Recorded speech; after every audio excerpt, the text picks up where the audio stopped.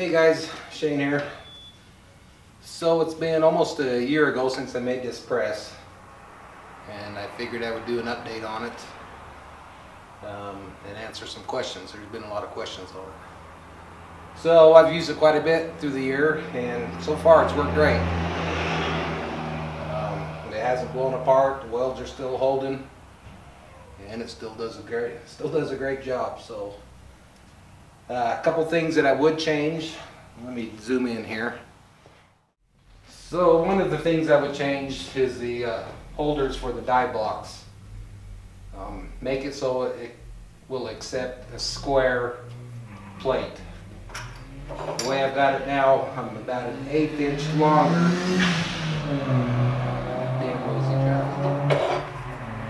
So it won't quite fit this way. And I can trim this off and make it work still. The easier to make it so it takes a square plate when you're building it. Also make sure you make the bottom and the top the same size, that way you can interchange them. Um, like on my hammer eye die, be nice to be able to put it in this way or this way. Either use this on the bottom or the top.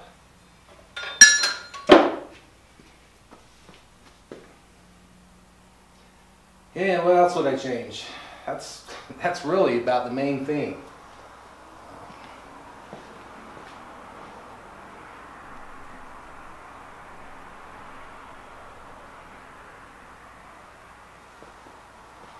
I get asked a lot about the noise, if there's a way to isolate the noise. And really the only way to do it correctly is to get some longer hoses I would move this press over on that wall, run the hoses through the wall and into the other room. And that's about the only way that you could really quiet it up a bunch. Um, I've been asked a lot about if you can put an isolation box around it. Let me move you to the back side here. Now the problem with building an isolation box around this is you would have to have it pretty good size. You'd have to be able to keep air flowing through it because this motor is cooled by a fan that's built inside so it needs to keep that airflow going across it. The hydraulic pump I don't think is as critical as the motor but you definitely need plenty of airflow across that motor. Um, one of the main things well, let me start over. This is a press I got from Tractor Supply.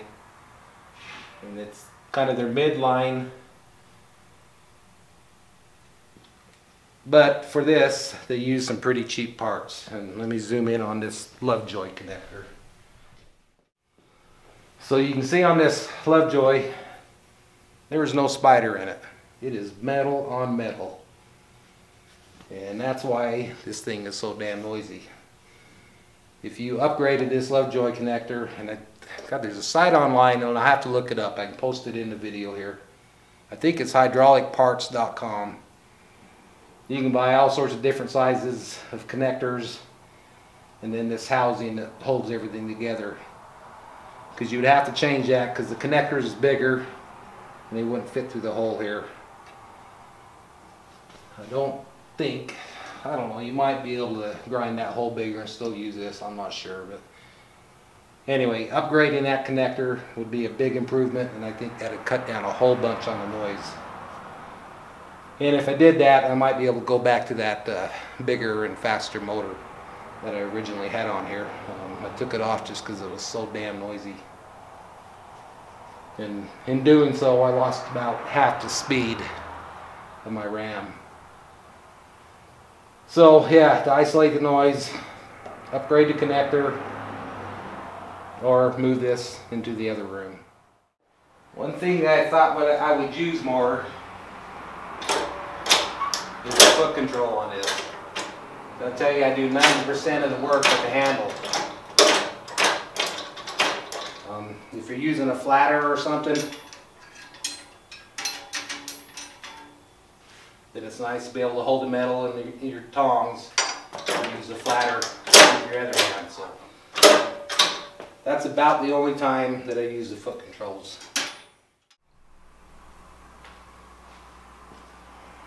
And I like the, the stand I built for it, especially the uh, little rack along the front. That way I can hold all my tools, some spare hammers. And that was something that was real easy to build. I also added a couple boards to the top here because as you're using it, stuff slowly vibrates off. One improvement that we could make to the press, let me move you back to the back side again.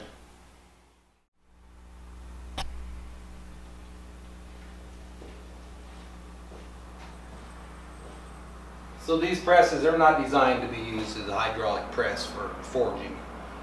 They're just, they're not heavy duty enough. I have just a little teeny bit of flex. Uh, maybe throughout the whole thing I get maybe a quarter inch movement up here at the top where the ram is hooked into it. And one way to eliminate that would be to take another piece of either flat iron, let me see if I got something. Good thick piece of flat iron and weld it right up the spine of this back. Or just get another piece of I-beam and weld it from here up, directly, directly to this all the way along it. That'd help stiffen it up a bunch. I mean, it's not bad. It's not enough that it makes the dies, you know, scawampus when it's pressing it but there's just a little teeny bit of flex. And I think if you use it every day, over and over and over and over for years, that flexing is going to make something something bust loose. So um, it'd be a good idea to stiffen that up. So another thing to keep in mind up top there, where that eye bolt is that holds the ram to the frame that distance that that that is off of the frame. You want to make sure that your die your working area of your die is directly in line with that. That's kind of why I got these dies offset back so I'm working right in this area. If you're out here is your main work area that's going to want to push out when you squeeze down. So the if you buy a press, the further out that is, the better it's going to be. So you can get your work area further away from the frame. And so far with this, I haven't had any problems. I've made hammers and tongs and whatnot off of it, and it's worked fine for it. So keep that in mind when you're building one of these.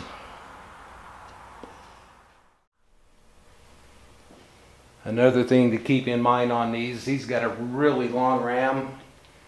Where's my tape measure? 30 inches. So that this this ram can extend all the way down to the base here. But you don't want to be working in that area. You don't want your ram fully extended. It gives it more chance for it to flex right here. You want your at least a third out, so two thirds still inside your ram.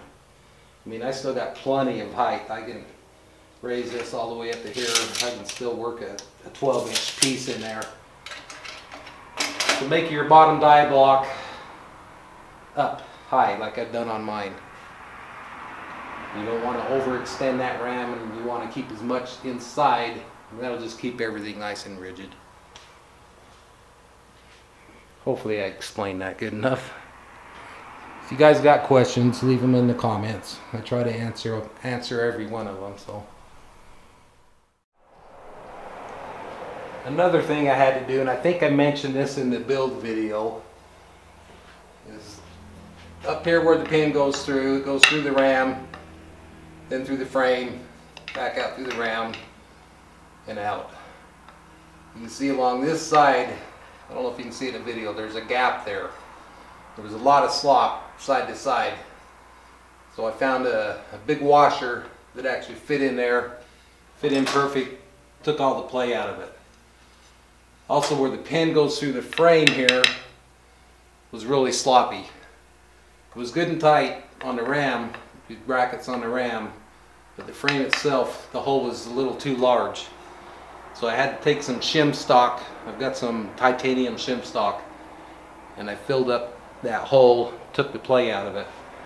That way this is nice and tight now. Before you could sit there and wiggle that and kind of turn it a little bit. So that took care of that problem.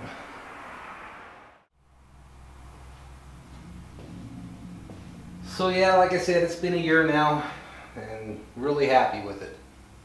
I think I paid, God, I can't remember. That was a year ago. I'm lucky if I can remember what I did last week. I think I paid, I know it was under 800 bucks for the whole thing. So for the cost, you can't go wrong. I bought it while it was on sale. Plus my wife worked for Tractor Supply and got a discount. And yeah, for the money I paid, this does a great job. Um, keep in mind, I did have the motor, so you'll have to make sure you got you know money for a motor. And I hit the scrap yard and bought the steel. These are uh, forklift tines that I made the die blocks out of. The bottom block or anvil or whatever you want to call it. These are solid steel pipe. Um, they actually come off of an old line shaft that I had. So I just had to buy just a couple things. I think this one inch thick plate that I've got, I bought, and then the forklift tines, and some scrap steel for the the uh, the stand. So if you guys are gonna go this route, hey man, go for it. I don't have any any reservations with it. I know a lot of guys badmouth hydraulic log splitter presses, but hey, this has worked great for me, so. Alright guys, I think I answered most of the questions that were on the original video, the build video. Um, if you got any more, like I said, leave them in the comments below. And we'll go ahead and end this video. And maybe in a year from now we'll do another update. Alright guys, thanks for watching.